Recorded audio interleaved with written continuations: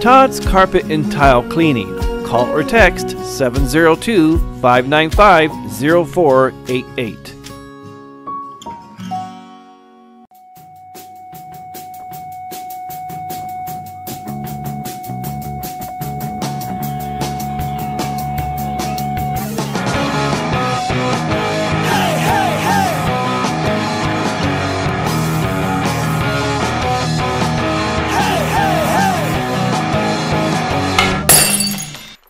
Time now for your News 25 look at sports. The stage is set.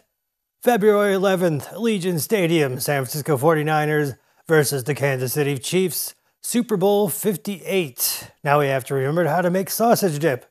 The Kansas City Chiefs will be practicing at the Las Vegas Raiders headquarters ahead of Super Bowl 58.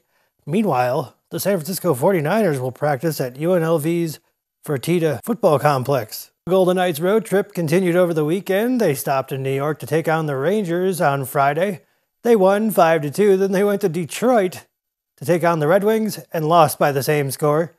The newest flag football team to be part of the American Flag Football League, the Las Vegas Lucky Sevens, will have their season premiere at Cashman Field on April 27th. Pahrump Valley Trojans JV Wrestling were part of the 2024 Clark Classic JV Zone. Congrats to Ian Bosket for taking first place in his weight class, and Jacob McLaughlin also took first place in his weight class. And that's your look at sports on News 25.